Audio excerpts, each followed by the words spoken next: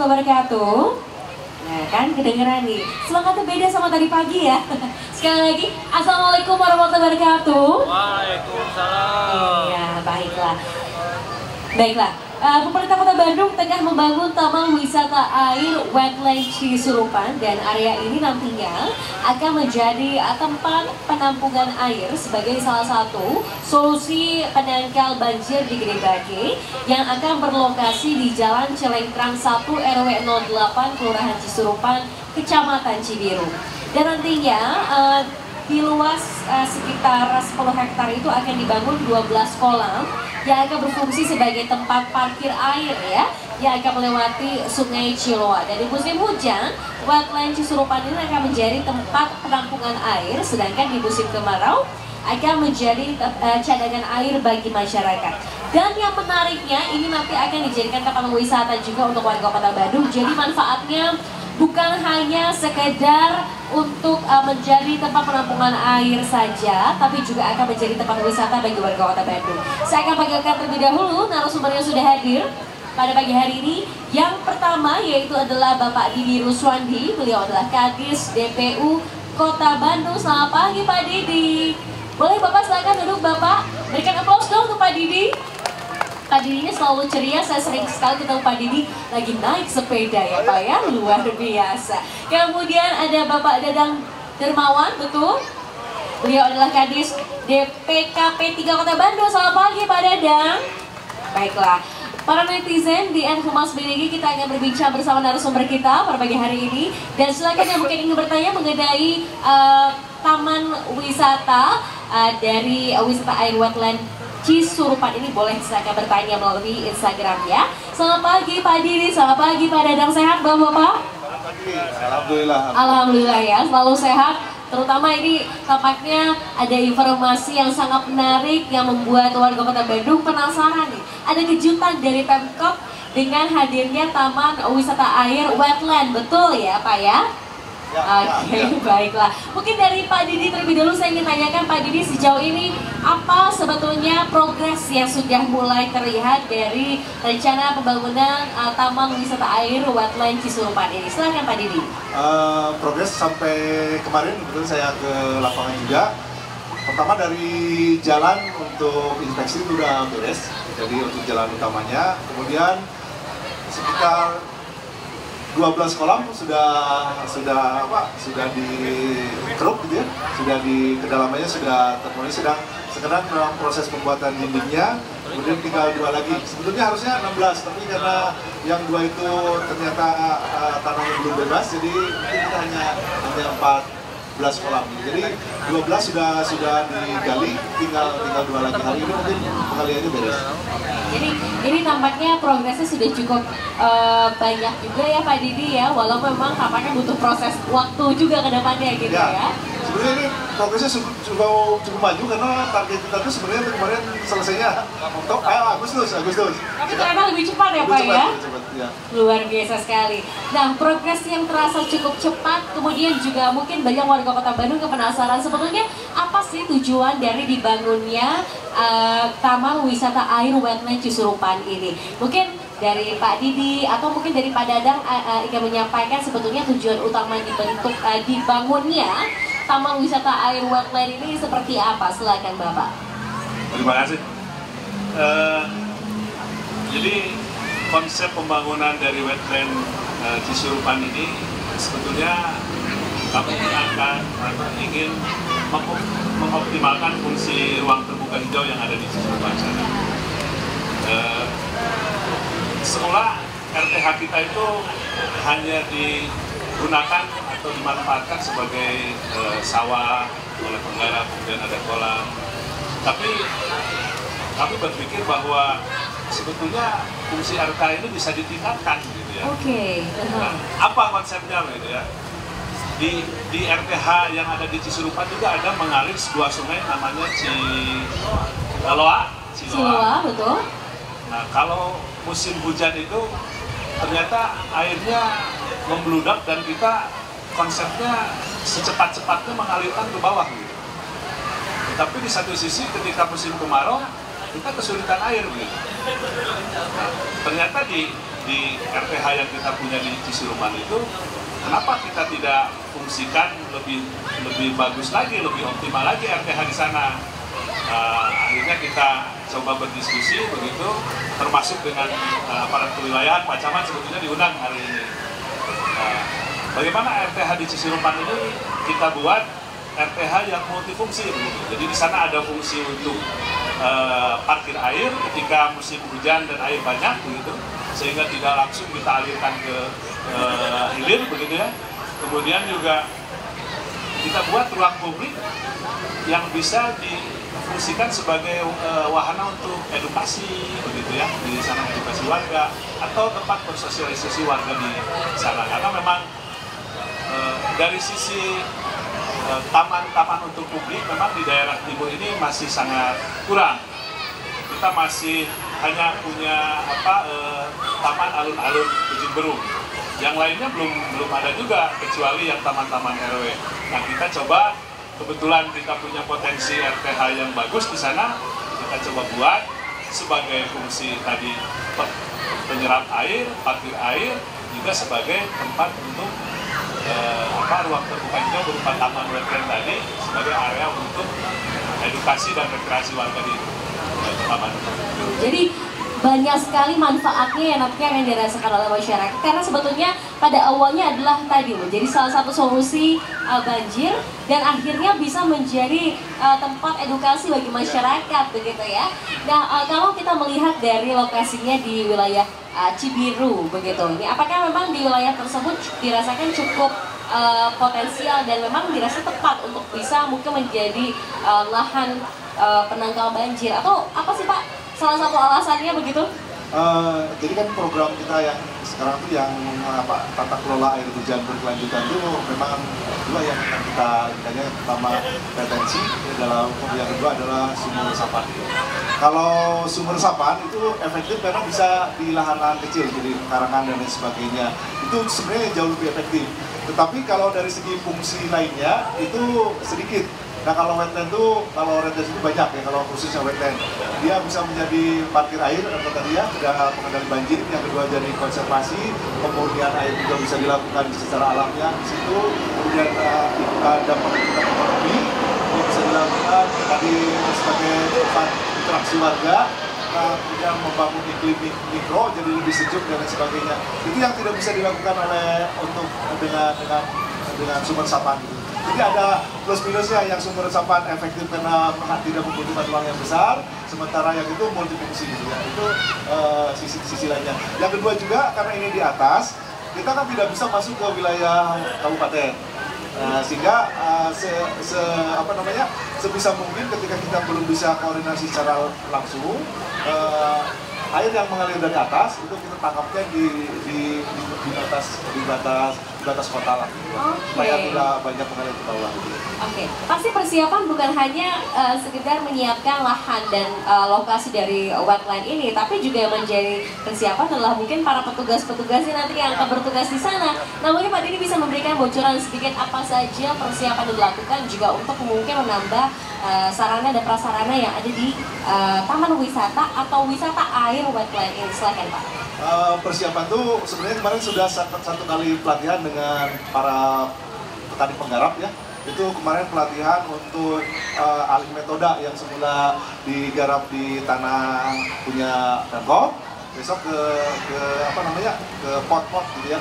Tapi kemarin memang belum seantusias yang kita harapkan.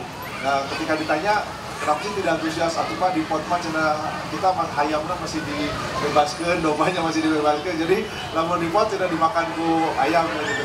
Berarti kan ini, ini harus ada treatment juga terhadap peternakannya itu. Terus kemarin uh, Ibu Romali sudah menghubungi seorang chef uh, uh, ahli masak gitu ya. Uh, jadi nanti akan ada pelatihan juga untuk pasca panennya gitu. Jadi memang ini akan disiapkan tidak hanya sekedar fisiknya tapi juga uh, uh, pergerakan ekonominya gitu. Mudah-mudahan ini ini berhasil di samping wisatanya gitu. Sebetulnya tadinya besok tuh kita mau menyusun tata hijau dengan uh, Pak Dadang dengan Ibu Eli dari uh, kemudian dari Ibu Ramali sama Kang Yusi tapi karena Bu Ramalisnya sedang ke Surabaya Mungkin nanti diminta minggu depannya untuk uh, untuk perencanaan tata hijaunya. perencanaan tata hijau begitu. Jadi betul-betul ya uh, mulai dari tadi bagaimana mungkin bahkan sampai ke panen dan pasca panennya sudah dipikirkan sampai sekarang begitu ya. Oke, Pak Dadang saya juga ingin tanyakan, mengingat kalau kita bicara mengenai uh, maksud tujuan dengan kolam retensi ini adalah tadi ya mungkin sebagai salah satu upaya untuk menghindari uh, mengurangi potensi banjir begitu. Nah, uh, apa Pak mungkin uh, dampak yang akan terasa ketika wetland ini sudah resmi dibuka. Apa ya mungkin nanti akan langsung dirasakan betul oleh masyarakat Kota Bandung? Ya, yang jelas eh, Kota Bandung menambah satu ta- eh, taman tematik lagi ya. Ada satu taman tematik baru begitu ya. Yang ada wilayah timurnya eh, Timur, Bandung, begitu betul. kan.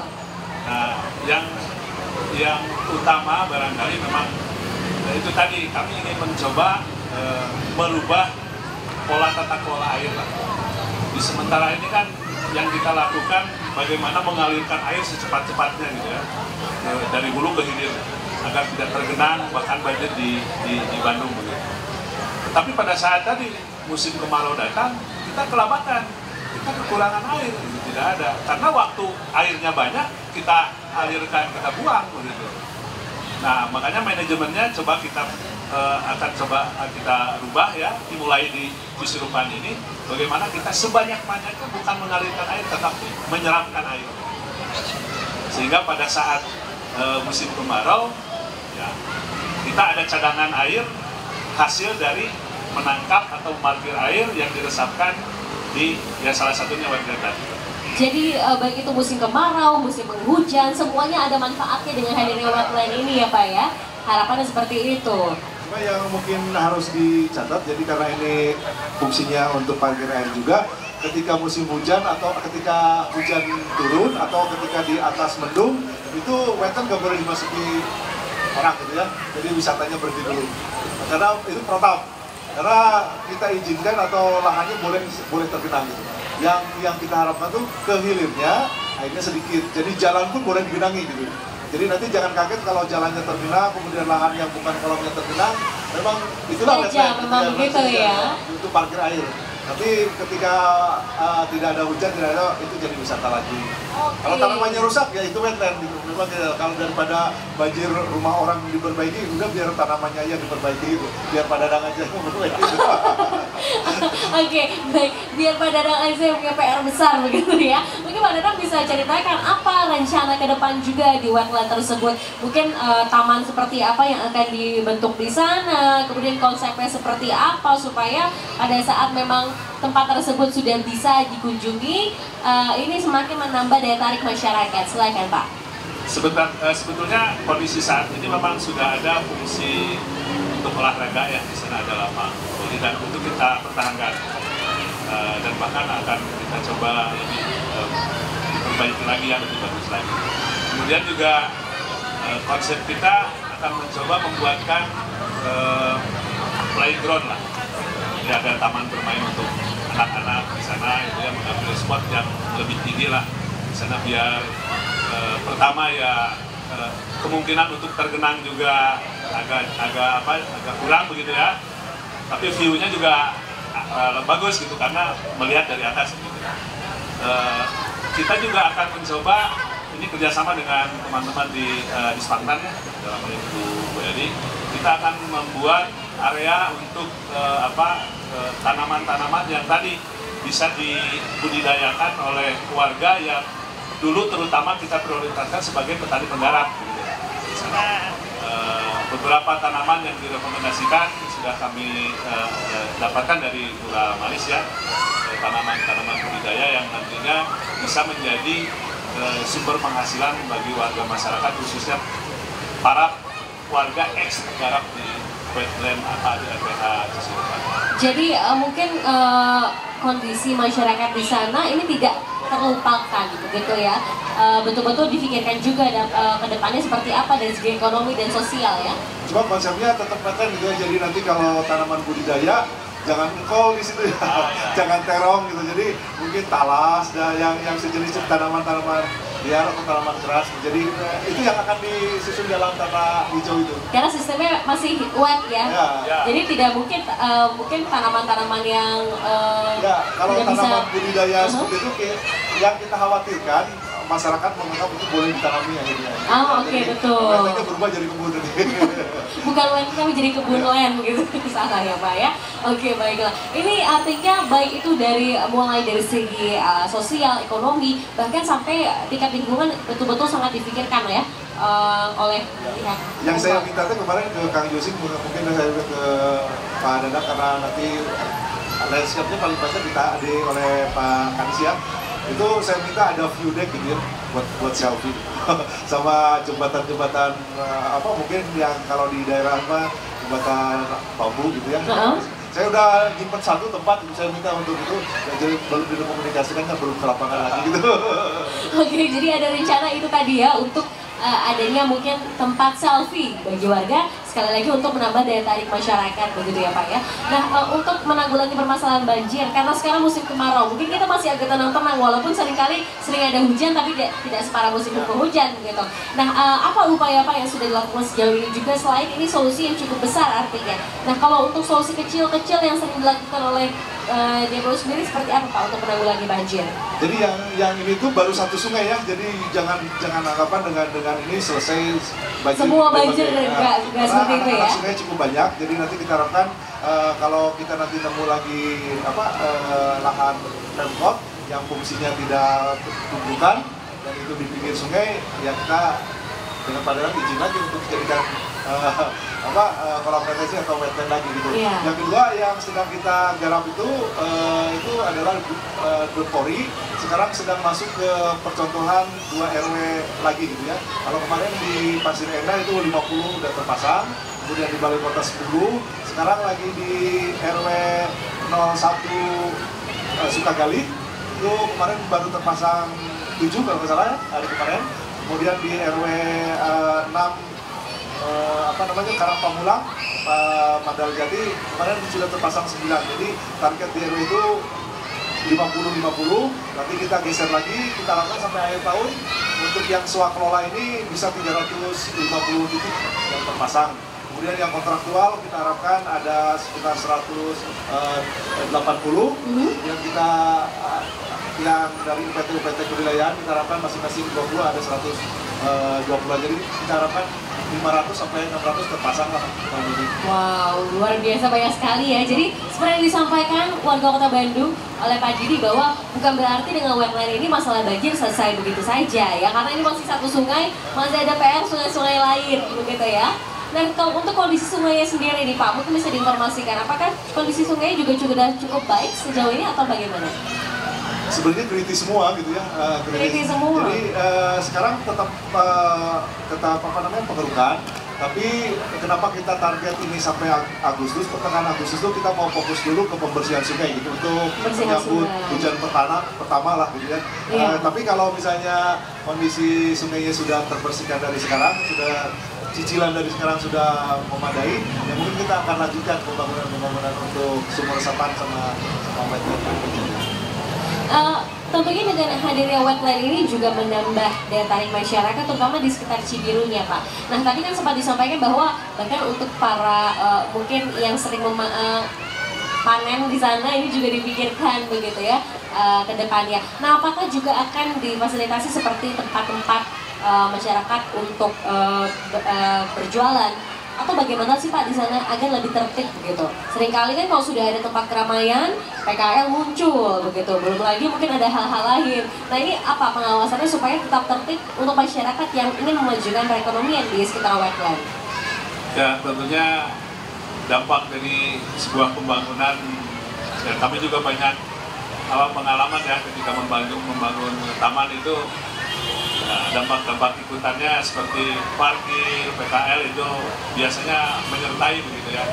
Nah itu juga bagian dari konsep yang kami pikirkan nanti pada saat apa eh, tata kelola hijaunya karena memang eh, dua kali kita melakukan sosialisasi pertanyaan itu juga muncul dari warga masyarakat sekitar bagaimana eh, kami boleh nggak eh, Jualan, nah, misalkan gitu itu, ya.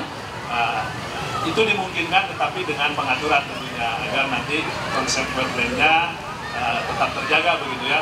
Tadi jangan sampai beralih jadi uh, kebun lagi atau beralih jadi pasar dadakan tidak seperti itu. Konsepnya tetap kita wetland itu yang tadi fungsinya untuk parkir air, untuk uh, sarana edukasi, taman tematik baru di wilayah Timur Bandung seperti itu. Jadi tetap dikondisikan agar tetap tertib dan masyarakat juga tidak di uh, bukan uh, dilarang begitu, tapi nanti akan lebih ditertibkan saja ya untuk berjualan. Ini menarik sekali karena wetland ini tampaknya hanya hitungan hari begitu Pak atau hitungan bulan ini? Fungsi dasar, fungsi dasarnya ya. Nah, jadi kalau tata hijaunya kan belum. Tata hijaunya belum, betul. Jadi, uh, implementasi hijaunya belum, tapi uh, ya kalau kemarin Bu Eli uh, itu sudah menyampaikan bahwa di beliau ada ada tanaman ya, beberapa tanaman yang mungkin bisa dipilih untuk bisa di, ditanam di sana. Dan pada nanti mungkin ada yang akan di tanaman.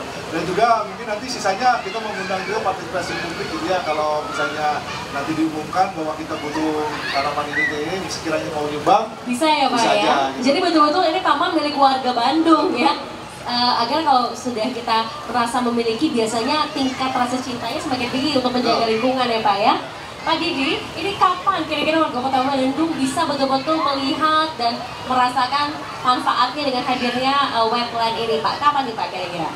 Kalau sudah hijau, mudah-mudahan di akhir tahun ini. Akhir tahun ya? di akhir tahun. Kalau kalau dengan sudah uh, sudah ter, ter Sudah selesai begitu ya? gitu ya. Akhir kalau tahun ya, kalau hanya sekedar kolamnya sih Agustus kelihatannya insya Allah beres. Agustus beres, tapi mungkin kolamnya. kalau untuk penghijauan dan lain-lain ini baru akhir tahun ya Pak ya. Oke baik. Menarik sekali mengenai wetland uh, ini karena mungkin dari segi lokasi juga menjadi angin segar bagi warga timur ya, baru timur ya. Ini karena ada taman tematik baru.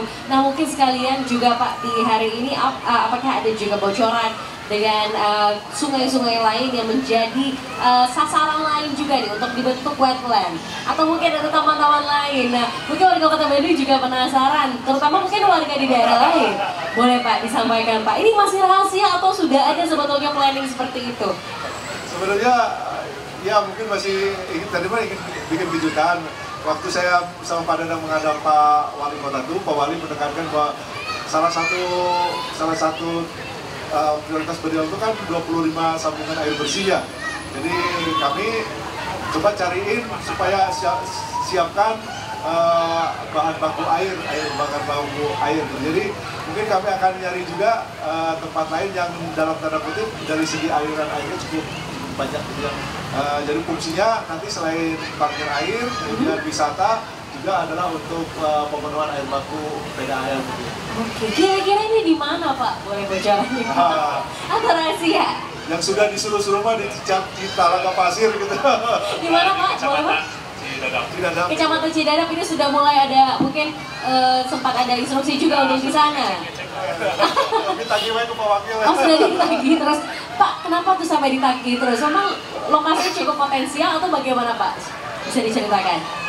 Ya, dari dari sisi potensi lahan memang eh, nampaknya sudah tidak terlalu bermasalah karena itu sudah milik pemerintah kota. Kemudian di sana juga ternyata banyak mata air atau seke di sana dan sekarang memang sebagian sudah dimanfaatkan oleh PDAM, tapi masih ada seke-seke yang lainnya yang masih belum optimal dimanfaatkan dan itu akan kita coba garap. Wow, Dan tadi jadi lebih eh, multifungsi lagi. lebih multifungsi lagi. Rekreasi, sumber air baku bisa di sana Ah, kan. betul. untuk parkir air juga. Nah, pokoknya wetland tahap 2-nya rencananya ya di Cidadap. Cidadap. Jadi Pak Didi dan Pak Dadang PR banyak juga ya Pak ya? untuk membangun wetland baru gitu. Akan main-main aja nih. Oke, nah ini kalau bicara mengenai daerah-daerah kota Bandung yang ternyata multifungsi, banyak sekali lahan yang sangat potensial begitu. Nah, eh, melihat kondisi ini sebetulnya tampaknya eh, peningkatan dari eh, lingkungan harus terus diperhatikan ya Pak. Tapi kesadaran dari masyarakat mengenai lingkungan sejauh ini sudah cukup baik belum Pak? Karena upaya dari Pemkot sudah luar biasa membangun taman begitu. Tapi menurut Pak Diti dan juga Pak Dadang kesadaran masyarakatnya masih cukup baik belum nih? Atau harus terus ditingkatkan ini Pak? Sedang berge- bergerak ke arah lebih baik sih. Tapi kalau Bergerak lebih baik. eh, memenuhi standar baik belum lah. Masih Mohon maaf, harus ya? mohon maaf. Karena kemarin eh, kita membersih Citarik, buktinya seperti itu ya masih masih masih banyak sampah. Masih banyak sampah. Di Pak Rem juga mungkin pengawasannya bagaimana nih Pak? Melihat kondisi ya, taman-taman begitu? Ya, eh, sama persoalan sampah di taman juga masih menjadi salah satu kendala buat kami. Ini ada eh, kami melakukan bukan survei ini Pak ya. Kita mencoba mengelola sampah di taman Mhm. sendiri. Ternyata produksi sampah yang dihasilkan di taman-taman itu 24 eh, 29 taman remaja itu dalam satu bulan itu 35 ton Satu bulan 35 ton. Ya. Ini hanya taman tematik ya? Sampah organiknya sekitar 33 ton sisanya yang anorganik Anorganik. itu dua ton Oke. dalam satu nah makanya memang kami memprogramkan terus Kang Pisman itu di di semua eh, taman-taman kami eh, lakukan karena memang ternyata sebagian besar sampah taman itu kan sampah organik yang Betul, bisa diolah menjadi eh, kompos Iya. dan, dan kami manfaatkan lagi.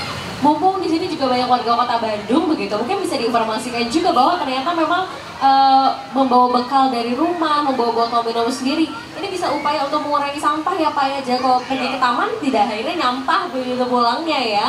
Oke baik, karena tadi jumlah sampah yang ada di taman-taman 29 taman tematik 3 ton ya Pak, satu bulan loh. 35 ton satu bulan. Hampir satu ton lebih satu hari bayangkan. Ini menjadi PR besar terutama nanti mungkin di taman-taman lain yang luasnya lebih besar lagi ini Pak Didi ya. Salah satunya jika jika di apa Wetland Ciserupan itu itu. Jadi ingin semua di situ panganan di situ adalah organik. Jadi tidak ada plastik, tidak ada apa dan sebenarnya kemarin di sosialisasi pertama itu tersampaikan masyarakat juga mendukung cuma uh, polanya yang sedang kita cari bentuknya ya supaya ini sukses seperti apa gitu. Tapi uh, Ibu Ramali salah satu pendorong kita tuh sangat bersemangat itu. Ya. melihat kondisi dari wilayah Cibiru sendiri apakah memang di sekitar eh, daerah wetland tersebut sering banjir Pak atau bagaimana? Uh, sebetulnya uh, kalau penanganan banjir itu yang benar tuh bukan di hilir, jadi bukan di tempat banjir, tapi di Oke, hulu. tapi di hulunya Jangan sampai harusnya. di hulunya mengirim air ke hilirnya, gitu. Makanya uh, kalau hujan itu biar terbendung aja di di wetland ke ke hilirnya ya segitu aja. Gitu. Nah, parkir dulu, nanti setelah uh, bergerak uh, apa mengalir perlahan-lahan. Gitu. Jadi memang memang itu. Yang kedua juga uh, kalau dulu menganggap bahwa kita sudetan itu uh, itu yang benar diluruskan, disudetkan itu ternyata dalam dalam apa namanya tata kelola air yang sustain itu itu nggak benar. Yang benar itu justru ditahan. Ber, sungai itu berkelok-kelok.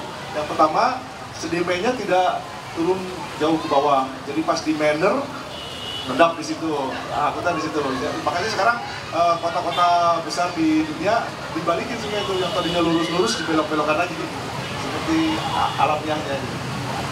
Jadi eh, seperti yang disampaikan oleh Pak Didi bahwa penanganan eh, banjir ini seharusnya dari hulunya ini harus Ya. betul-betul tertangani tidak boleh.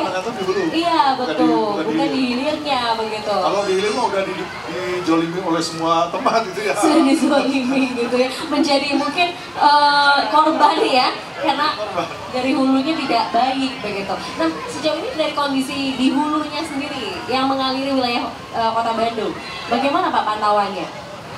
Yang pertama pasti di hulunya gundul nih, karena indikatornya sangat kuat. Indikatornya pertama kalau air hujan antara hujan dengan kemarau fluktuasi sangat beda jauh, itu berarti di, di atas ada masalah kritis. Yang kedua, ketika eh, jumlah sedimennya sangat banyak, artinya kan eh, tergerus.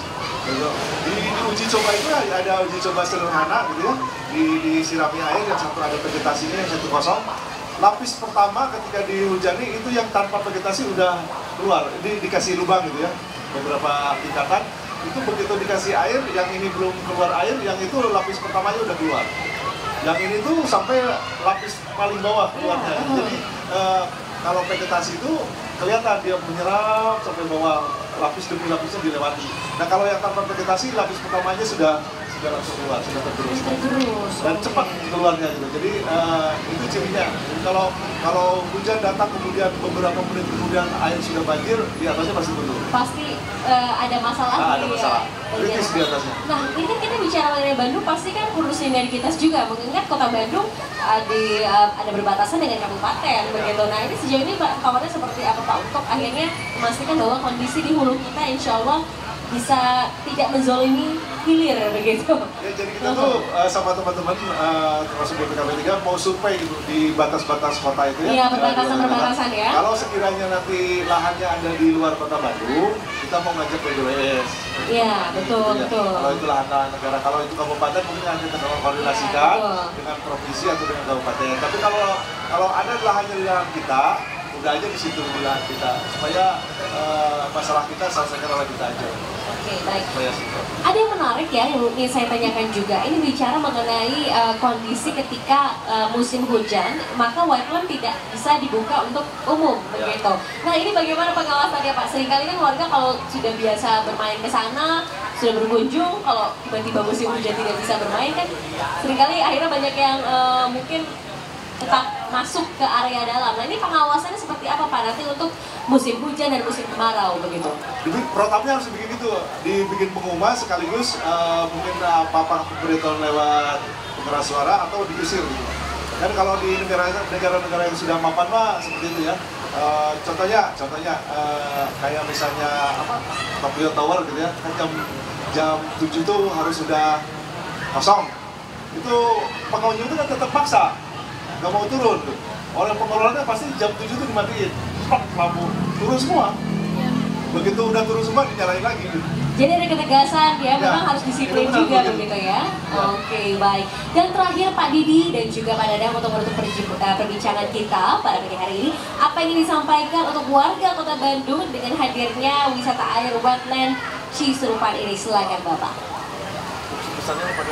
Pak Dadang dulu, mangga Pak Dadang, silakan. Yang pertama mungkin karena ini sedang berproses dalam tahap pembangunan dan mohon doanya. Jadi mudah-mudahan eh, eh, diberikan kelancaran dalam pembangunan atau dalam proses pembangunan wetland ini.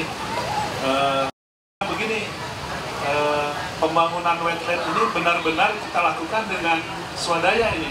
Dengan Ya, swadaya. jadi kita memanfaatkan sumber daya Mhm. yang kita punya masing-masing. Mhm. Artinya tidak ada APBD khusus untuk membangun di sana. Iya. Kita juga melibatkan warga di sana dan kami sangat berterima kasih eh, khususnya kepada warga RW 8 ya, di sana RW 8 dan 11 ya, eh, Kelurahan Cisurupan yang sangat luar biasa mendukung program kami sehingga tadi sebetulnya progres pembangunan Cisurupan ini bulan ini tuh baru, baru pada tahap pematangan eh, persiapan lahan ya tapi sejauh ini kita sudah progresnya luar biasa sudah Lebih cepat begitu ya eh, Pak? 12 kolam itu sudah kita gali semua dan Iya. hampir rampung begitulah. Oke. Oleh karena itu tadi yang pertama mohon doa dan dukungan, kemudian yang eh, keduanya kami juga nanti tentunya karena ini tadi swadaya eh, kami harapkan juga partisipasi warga manakala kami nanti ada keperluan untuk menambah